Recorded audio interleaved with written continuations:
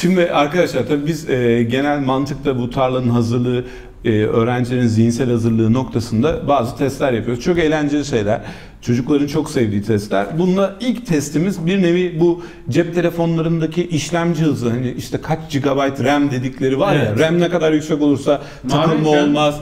Hani e, çok daha hızlı işlem yapar telefonda, bilgisayarda. Biz de işin e, şakası bir yana kendi zihnimizin RAM'lerimizi ölçmek için bu testi Şu kullanıyoruz. an bizim RAM'lerimizi mi ölçeceksiniz hocam? Bir anlamda öyle ama sonuçlarını paylaşmayacağız. Sıkıntı yok. İyi olmamış.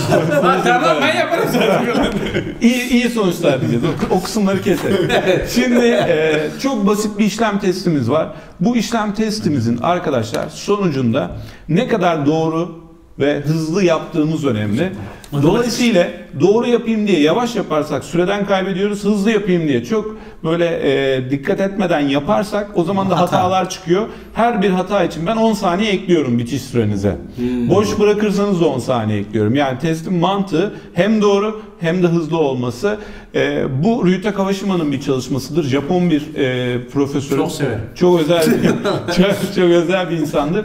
Onun zihinsel gelişimle ilgili yapmış olduğu çalışmaların sonucudur. Ve e, biz öğrencilerimizde son 10 yıldır aktif bir şekilde kullanıyoruz. İsterseniz önce testi yapalım. Çıkan sonuçlara göre de değerlendirme kısmında öğrencilerle bunu paylaşalım. Evet hocam. Artık hazırsanız testlere Bir başlayabiliriz. şey yok. Kalem bile aldım. Onur hocam harikasın. Kalemler hazır mı hocam? Buyurun efendim. Önce ama bakmıyoruz hocam. Aynı, Aynı anda, anda aynı anda başlayalım. başlayacağız. İstediğiniz sorudan başlayabiliriz. Kronometreye çalışıyoruz. İstediğiniz gibi başlayabilirsiniz. Ben kronometre tutacağım hocam. Hepsini bitirdiğiniz an bana söyleyeceksiniz. Ben de sürenizi söyleyeceğim. Üstüne yazacaksınız. Bu kadar basit. Çok güzel. Hazır mıyız hocam? Hazırız. Hadi başlayalım. Hocam benim kağıdım ters çekmiş. Hepsi bitecek bir şey hocam.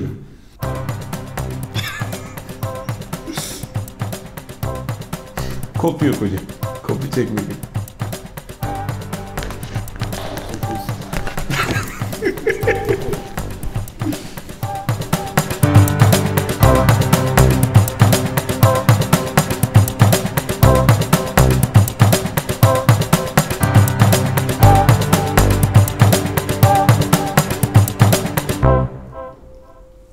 Şimdi hocam e, aslında önemli olan şey burada şu.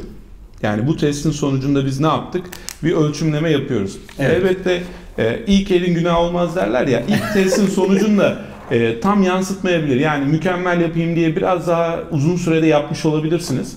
E, dolayısıyla biz ikinci, üçüncü testte daha net sonuçlara ulaşabiliyoruz. Ama burada ne çıktı? Mesela 1 dakika 25 saniyede yaptınız. Oo. Normalde bu mükemmellik seviyesinin altında yani mükemmellik seviyesinde olan bir şey. var. Ama bir tane işlem hatanız var. Onun için de mesela 10 saniye ekliyoruz hocam. E ne oluyor sonucunuz? Sizin 1 dakika 35 saniye oluyor. Ama bu dikkatsizlikten gitti. Onu şey Yok hocam yok. Yemezler hocam. Dikkatsizlikten hatayı da söylemek istiyorum. Hocam ben de 9 çarpı söyleyeceğim. 7'ye 63 yerine 56 demişim. Benim Evet. karnemin. Şimdi hocam onu, onu, onu almıyorum.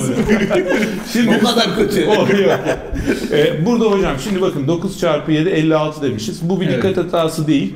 Bunu siz 2 yazsaydınız, 16 yazsaydınız evet dikkat hatası olarak işlemi yanlış gördünüz derdim. Ama bu bir e, bilgi hatası.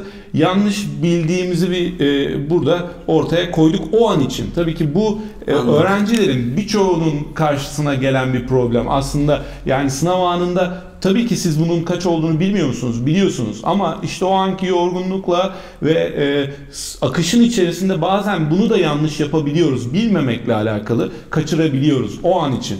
Şimdi e, sonuç olarak değerlendirirseniz 1.35 saniye mükemmellik seviyesine yakın. Ne, neyi kastediyorum mükemmellik seviyesinde? Bu testi baştan sona hatasız veya hatalı 1 dakika 30 saniyeden hızlı yapabiliyor ise öğrenci bana göre o an itibariyle tam puan alacak her sınav grubunda yani ister lisede ister üniversitede sınav, üniversiteye geçiş sınavına hazırlanıyor olsun tam puan alacak öğrenci demektir. Yani bu- alabilecek öğrenci demektir. 1.30'un altı o Evet. tip öğrenciler için Zihin idealdir. olarak o noktaya gelmiştir artık bu çocuk. O noktaya hazırdır. Ama e, ne var? Çocuk 1 dakika 30 saniyeden hızlı yapıyordur ama konu eksiği vardı. Tabii ki yapamayacak bu çocuk tam puan. Ama işte o kapasitede olduğunun önemli bir göstergesi benim için. Bunu gören öğrenci zaten za- daha gayretli de oluyor Evet. hocam Bunun açıkçası. içinde Ama ben söyleyeyim bir müddet sonra toplamalar, çarpmalar birbirine giriyor. Burada 100 100 tane soru var. Tam 100 tane işlem. 100 tane işlem sorusu var ama toplam açı hepsi de basit. 4 artı 5, Aslında 2 basit çarpı 4, ama 8 eksi 3. Yapamıyoruz şimdi. Ama bir video sonra bakıyorum çarpma siz de uyanıklık yapmışsınız yani. Tabii. Bazı sorular özellikle peş peşe gelmiş. Evet. Kafa çarpmaya gidiyor böyle sürekli. Hocam Orada bakın durduruyorum e, kendimi. kolay ama yapamadım mantığı var ya işte biz Ha. şimdi kompleks şeye hazırlarken kendimizi bu kolayları kaçırıyoruz. Beynin çok kolay idmanlara ihtiyacı var. Anladım. Bunları yaptıkça zaten çok yönlü bir çalışma programı elde ediyor öğrenci.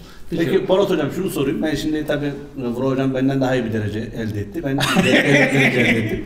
Bu düzelir mi hocam? Tabii ki düzeliyor. Tabii ki düzeliyor hocam. Şimdi bir öğrenciye biz 60 günlük bir program yaptırdığımız zaman Evet hocam. e, çok ciddi gelişmeler gözlemliyoruz. Güzel. Kesinlikle çok örnek vereyim. Bir X okulda, bir özel okulda e, dönemin başında başladığımızda toplamda 26 öğrencimiz mükemmellik seviyesine yakın sonuçlar elde ediyordu. Şimdi 92 öğrenciden 70'i bu seviyeye çıktı. Hmm, yani bunu zaten geliştirebiliyoruz. Rahatlıkla Olmaz geliştirebiliyoruz. Hiç sıkıntı yok. Yani çocukların biraz daha moralli olması lazım.